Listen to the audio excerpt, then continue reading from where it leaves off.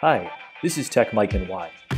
The blue clips that secure a mini RAID controller in the Dell 12th generation servers are prone to break after exposure to heat over an extended time.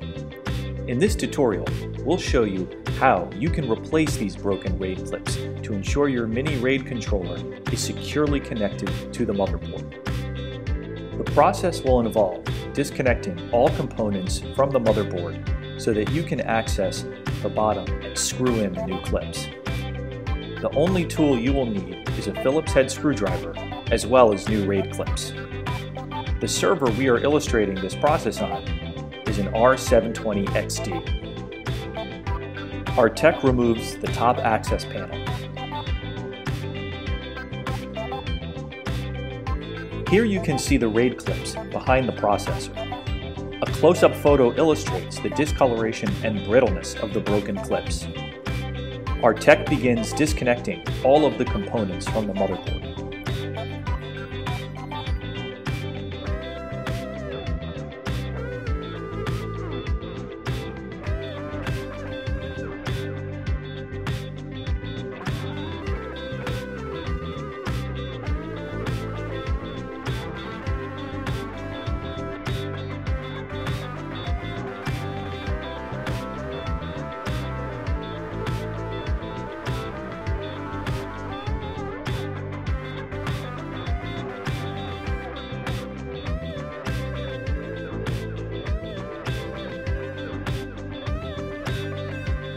With all of the components disconnected, pull on the blue pin and slide in the direction of the arrow. Then, very, very gently pull the motherboard out.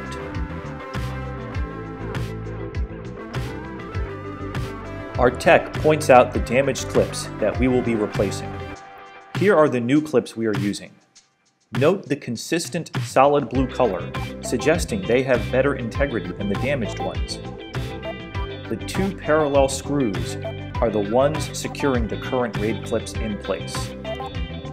Unscrew those screws.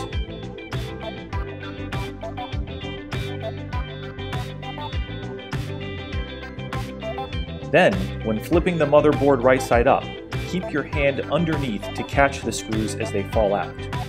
We'll be reusing them for the new clips. When installing the clips, note that each clip has a slightly different contour. This contour is to ensure the placement in the correct socket. When you feel the clip secure in the socket, carefully flip the motherboard back upside down while keeping the clip in place. Make a visual confirmation that the clip is flush against the socket. Then screw in the new clip. You can test the newly installed clip to confirm it is secure and functioning by pressing on its lever. Repeat the process for the other clip, seating the clip in the socket, holding it in place as you flip the board upside down, and inserting the screw.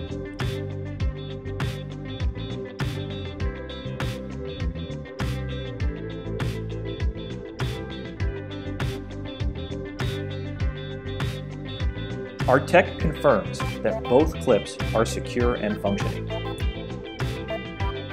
You will then need to reseat the motherboard and reattach all cables and components, taking care to ensure that no screws or other loose bits fell onto the server's base panel.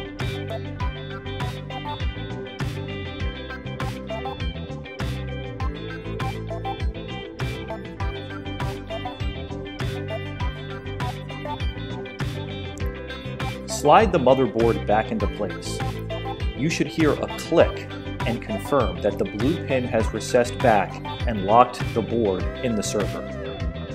Reconnect all cables and components, retracing your steps from everything you disconnected.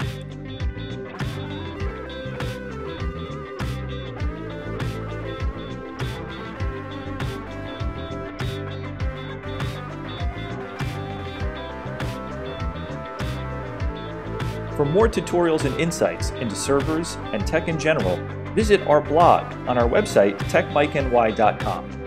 A link is in the description below. Thanks for watching.